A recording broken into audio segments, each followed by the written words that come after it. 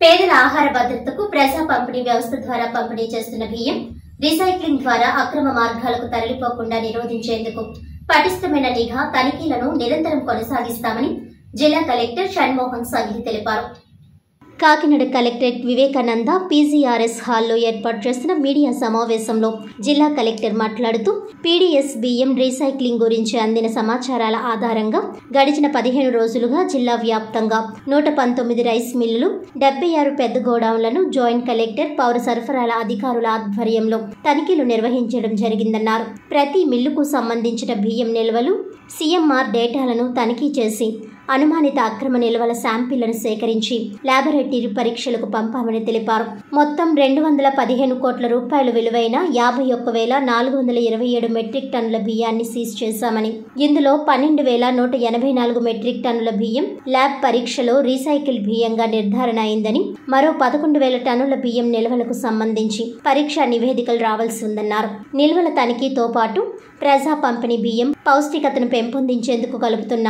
Kernels వల్ల recycling బియ్యాన్ని పరీక్షల్లో సులువుగా గుర్తించవచ్చునని ఆయన పేర్కొన్నారు. నిర్ధారణ జరిగిన అక్రమ బియ్యం నిల్వలకు పాల్పడిన వారిపై కేసులు నమోదు చేశామని అలాగే పీడీఎస్ బియ్యం అక్రమ తరలింపు గొలుసుకట్టు వ్యవస్థలో బియ్యం కొనుగోలుదారుల నుండి ఎగుమతిదారుల వరకు పాత్రధారులందరినీ గుర్తించి చర్యలు చేపడుతున్నామని తెలిపారు. ఈ అక్రమ కార్యకలాపాల నిరోధానికి పోర్ట్ కస్టమ్స్ పోలీస్ పౌర సరఫరాల తదితర ఎనిమిది శాఖల సమన్వయంతో ప్రత్యేక తనిఖీ వ్యవస్థ ఏర్పాటు చేస్తున్నామని వివరించారు.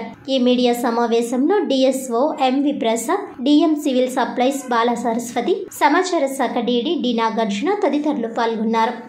లాస్ట్ పదిహేను రోజుల నుంచి మీరు అందరూ అబ్జర్వ్ చేస్తుంటారు. మన honourable minister for civil supplies Shri Nadan Manohar గారు along with MD civil supplies corporation Veerapandian sir IAS and JC గారు తర్వాత entire district administration including DSO and DM అందరి ఆధ్వర్యంలో టీమ్స్ వేసుకొని పోలీస్ వారి సహకారంతో పదిహేను రోజుల నుంచి ఒక యుద్ధ ప్రాతిపదికన గోడౌన్స్ మీద uh, మనకి వచ్చిన ఇన్ఫర్మేషన్ బట్టి అండ్ కొన్ని ర్యాండమ్గా కూడా మనం uh, ఇన్స్పెక్షన్స్ చేయటం దాంట్లో పీడిఎస్ రైస్ అంటే పౌర సరఫరా వ్యవస్థ నుంచి ఏదైనా రైస్ బయటికి వెళ్ళి వాటిని మళ్ళా పాలిష్ చేయటమో లేకపోతే వాటిని బ్రోకెన్ రైస్గా మార్చుకొని మళ్ళీ బ్యాగ్స్లో ఏదన్నా గోడౌన్స్లో స్టాక్ ఉందా లేదో చూసుకోవటం.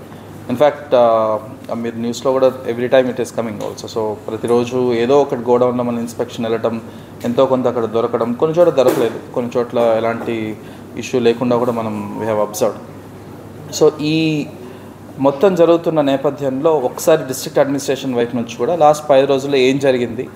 అండ్ uh, దాని అవుట్కమ్ ఏంటి? అంటే అది చేసిన తర్వాత మనం ఇప్పుడు ఏం what did we find out అనే దాని గురించి ఒకసారి అందరికీ uh, క్లియర్గా ఒకసారి చెప్దామన్న ఉద్దేశంతో ఈ మీటింగ్ పెట్టడం జరిగింది. Uh, మొట్టమొదటిగా మనం I want start with saying almost నూట పంతొమ్మిది మిల్స్ ఆల్మోస్ట్ డెబ్బై దాకా పెద్ద గోడౌన్స్ ఉన్నాయి మన జిల్లాలో. అంటే కాకినాడ కొత్త జిల్లాలో. ఈ నూట పంతొమ్మిది మిల్స్లో మోరాలెస్ అన్ని రా రైస్ అంటే ఎక్సెప్ట్ ఒక పదిహేడు పద్దెనిమిది తప్పితే rest everything operates on raw rice మిగతావి బాయిల్డ్ రైస్ ఇలాంటివి ఉన్నాయి.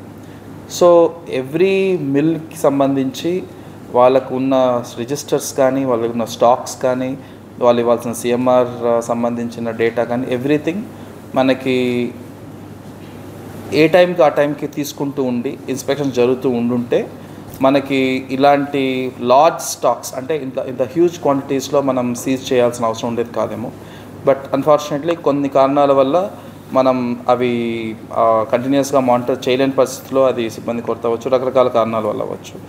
సో చేయలేని పరిస్థితిలో కొన్ని ఎస్పెషల్లీ కొన్ని మిల్స్లో అండ్ కొన్ని గోడౌన్స్లో హ్యూజ్ స్టాక్స్ అంటే దాదాపు వెయ్యి టన్నులు పదిహేను వందల టన్నులు అలాగా దొరికిన సందర్భాలు కూడా ఉన్నాయి. సో అలాంటి గోడౌన్స్ని తర్వాత ఈచ్ మిల్ని నిశ్చితంగా పరిశీలించడానికి కొంత టైం పట్టింది. మనకి లాస్ట్ పది రోజులు అంటే ఆల్మోస్ట్ ఐ థింక్ ఫస్ట్న వచ్చింది sir? Twenty seventh yeah twenty seventh. So almost it fifteen days నా సో ట్వంటీ సెవెంత్ వచ్చిన తర్వాత మన ఈచ్ గోడౌన్లో ఫర్ ఎగ్జాంపుల్ ఒక పెద్ద గోడౌన్లో ముగ్గురు నలుగురు ఎక్స్పోర్టర్స్ ఉండి ఆల్మోస్ట్ ఒక పది పదిహేను కంపార్ట్మెంట్స్ ఉంటే ఎవ్రీ కంపార్ట్మెంట్ వెళ్ళాల్సిందే. ఎవ్రీ కంపార్ట్మెంట్ సంబంధించి ఒక ఫోర్ సైడ్స్ ఫైవ్ సైడ్స్ వాటిలో శాంపిల్స్ తీసుకోవాలి. శాంపిల్స్ అక్కడ ఆన్ స్పాట్ టెస్ట్ చేసేది కాకుండా మళ్ళీ మనం ల్యాబ్కి పంపించాలి. బికాస్ ఇవన్నీ మనం కోర్ట్ ఆఫ్ లా అంటే రేపు కోర్టుకి వెళ్ళినా కూడా నిలబడాలి అంటే I have to follow the process so raid చేసిన ప్రతి గోడౌన్లో అలా సైంటిఫిక్గా అంటే యాజ్ పర్ గైడ్ లైన్స్ మనం స్టాక్ శాంపిల్స్ తీసుకోవటం వాటిని ల్యాబ్కి పంపించి దాన్ని మనం ల్యాబ్ రిపోర్ట్ తెప్పించుకొని నిన్న మొదటిసారిగా వాళ్ళకి సిక్స్ ఇయర్ నోటీసెస్ ఇచ్చి మనం నిన్న హియరింగ్ పిలిపించడం జరిగింది. ఆల్మోస్ట్ నిన్న ఐ థింక్ తొమ్మిది చేసాం అనుకుంటా. తొమ్మిది కేసెస్ నిన్న పిలిచాం. ఇంకొక మూడు ఉన్నాయి. నేను నేను నెక్స్ట్ వీక్ ప్లాన్ చేసుకున్నాం అనమాట సో ఈ పదిహేను రోజుల్లో మనం చేయగలిగిన ఎఫర్ట్కి నిన్న వాళ్ళ వైపు నుంచి అంటే అంటే అటువైపు నుంచి అంటే గోడౌన్స్ వైపు నుంచి కానీ మిల్లర్స్ వైపు నుంచి కానీ ఎక్స్పోర్టర్స్ వైపు నుంచి కానీ అన్ని రకాలు ఉన్నారు ఆ కేసెస్ పెట్టిన వాళ్ళలో. మనకు అర్థమైంది ఏంటంటే ఇది ఈ ఎంటైర్ ఆపరేషన్ మనం ఇప్పటితో ఆపం. So it is a very long chain ఈరోజు గోడౌన్లో దొరికినంత మాత్రాన ఓన్లీ గోడౌన్ అతనిది తప్పని తెలియట్లేదు. గోడౌన్కి అతనికి సప్లై చేసిన వాళ్ళు ఉన్నారు.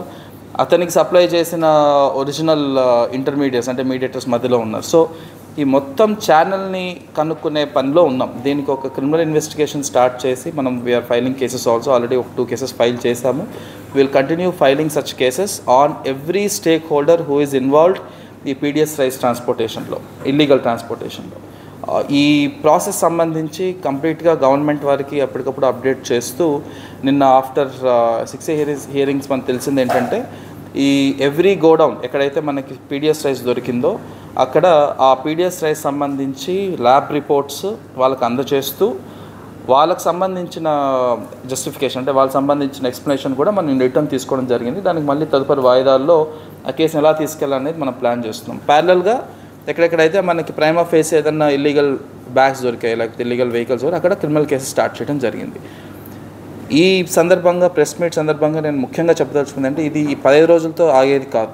So I please treat this as government stand from our side also that every day A information వచ్చినా ర్యాండమ్గా అయినా సరే ఎవ్రీ డే ఇంక నుంచి ఈ ఇన్స్పెక్షన్ జరగడం జరుగుతుంది.